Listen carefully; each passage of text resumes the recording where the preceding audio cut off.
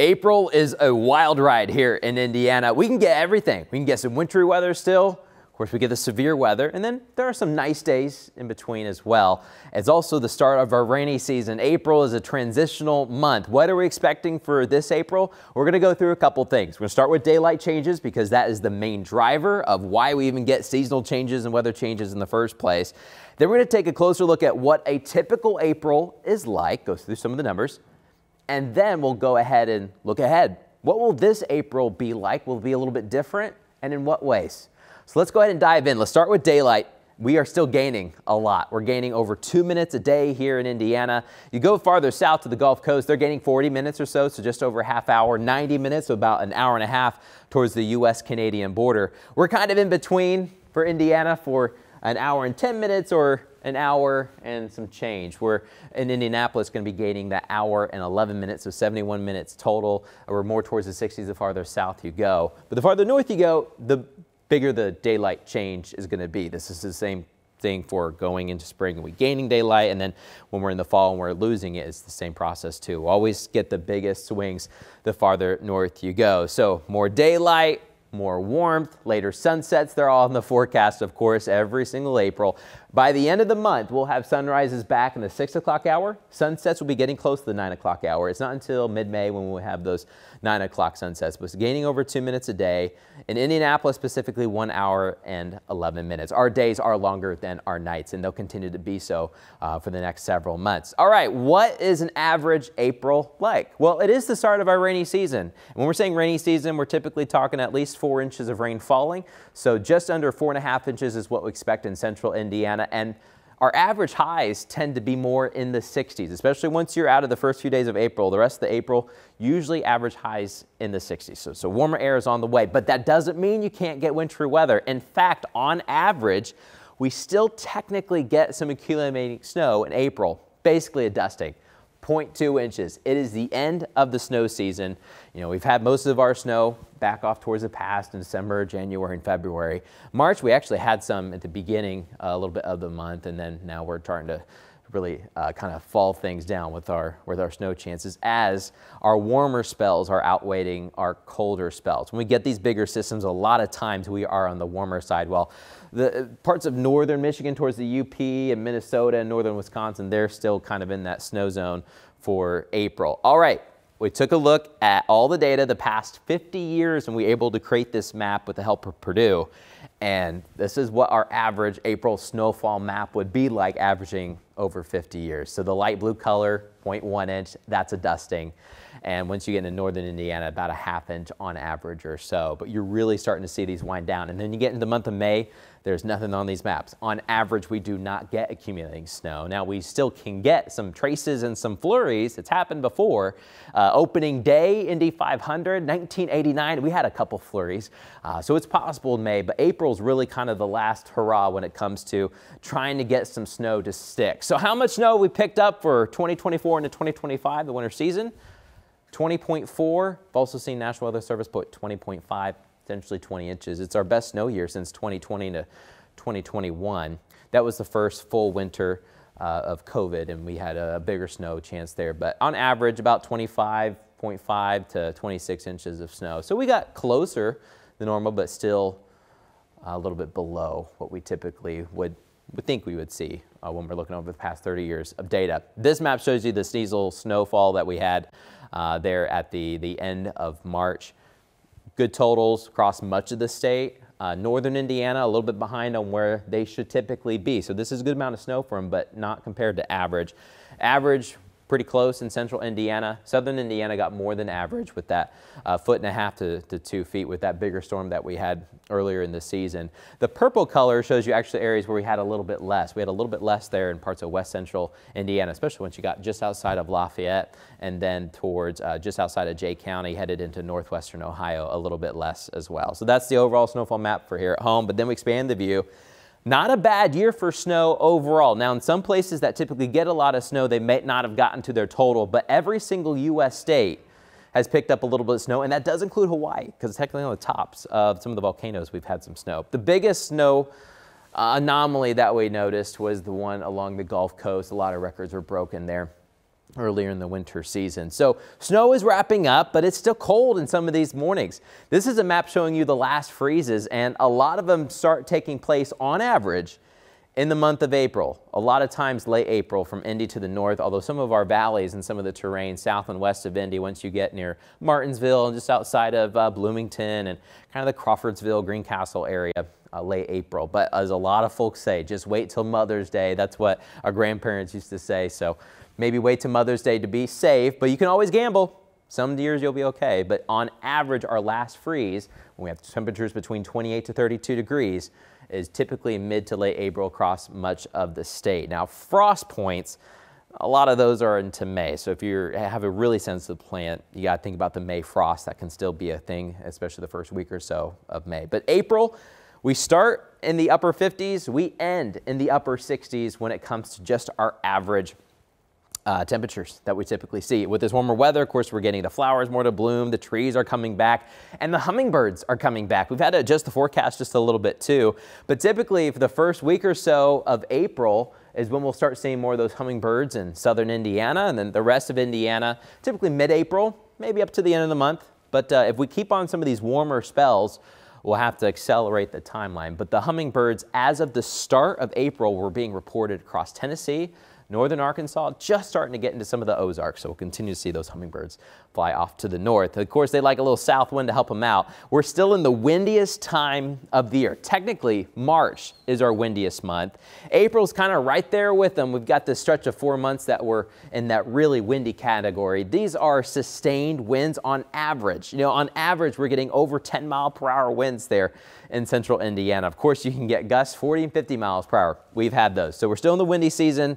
It's just the question is, which direction is that wind coming from? Hopefully it's out of the south to try to warm you up. Also April, some good news. We are ending the cloudiest time of the year. Look at March and all the way through the winter time. Over 50% of our days are either mostly cloudy or overcast, and we even split each one. So for example, here in, in April, uh, you can see how many, how many days are usually overcast, how many days are, are mostly cloudy.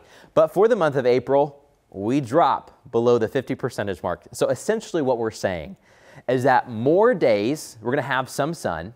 Now there could be some clouds, but more days we'll have sun than just clouds about a 51% chance for getting some sun. So that's going to be good news. We're trying to turn the tables here. We're, we're getting uh, sunnier, but in those wet days, we're really concentrated in some of the rain because it is the rainy season. So we don't get rid of the, the clouds completely, but on the days where we're recovering, they're really nice in the month of April.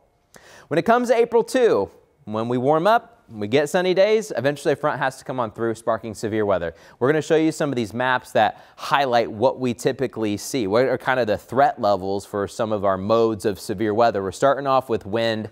Usually wind is a bigger risk there in the summer. You get a lot of heat and they can really help fuel some of these windstorms. But we're in the low category. We can get windstorms in April, of course. Now we're talking about hail. You also need some warmer air at the surface, but you still need it to be cold above us to help fuel the hailstones and their growth. So if you get too late in the summer, everything's too warm. You still get hail, but a lot of times it does melt by the time it's reaching the ground. So kind of mid to late spring is when we see hail peak. So we'll probably see a, a, bigger zone there in May. But for April, we start to see that highlighted region in the south central plains, but still all of Indiana in the low category. We are in the threat for, for some hailstorms. Tornado risks, that's probably our highest risk for the month of April. Have still a lot of rotation in the atmosphere and just enough warmth to kind of fuel some of these supercells and some of these uh, line of thunderstorms with brief spin-up tornadoes along the leading edge. The bullseye for April is farther to the south, Oklahoma, North Texas, into parts of the Ouachitas and extending into the deep south. But here in Indiana, we're in that low category to medium category. The higher uh, the chance goes a, a little bit farther to the west and it picks up in, in Illinois, headed all the way to Kansas City. So tornado threats, of course, are going to be on the rise. On average, how many tornadoes do we typically see? This is data coming in from the Storm Prediction Center. We're looking at 1999 all the way to 2003. Every state is highlighted based on how many typical tornadoes do you see in the month of April. Now remember in March, you know, we had over 10 tornadoes. At one point we had at least 14 confirmed. Still some severe weather. Uh, we'll have to see the kind of final number, but our average for March was two to three. In April, now it's four. So we've already had more tornadoes than on average, March and April would have brought combined on average. We've had more than that. And you can see the big uptick in the numbers farther to the south, deep south, and the south central plains. So we'll have to see how many tornadoes we get this year. We were talking about this. You can also check this out on WTHR Plus, what a weak ending La Nina is like. You know, we talk about El Nino and La Nina. We've been in a very weak La Nina, so colder temperatures there in the Pacific Ocean but we never talk about what's in between. You know, you don't always have one extreme or the other. Sometimes we're just in the middle. But we took a look at all the spring seasons where we had a weak La Nina and then it ended. So it just went to what we call ENSO neutral, just average temperatures there in the Eastern Pacific. What did springs look like in some of those time frames? Well, this is what we found. These are the average tornadoes here on the left. We're going to call it guidance for what we actually saw in those specific seasons could be an indicator of what happens. In March, we typically saw a little bit of an uptick. Now, this March, we saw a huge uptick. I mean, we had uh, three, four, five times the amount of, of tornadoes than typically normal. So we saw an uptick in March, but way more than what our guidance shows. April also shows a guidance of more, so we'll have to see. This is not a, a more of a, a thing to, to scare folks, but more just to say, hey, April may be the month that we see most of our tornadoes. That may be the month where we have to watch. The good news is that a lot of times severe weather season is front loaded. They're the first half when we have these weak La Ninas that are ending. Will that be the case this year? I don't know. We'll see. But that's at least what we have seen sometimes throughout the past more so than average. All right. That's all the data that we've seen so far, uh, what we typically get for April, but what about this month specifically? This is coming in from the Climate Prediction Center.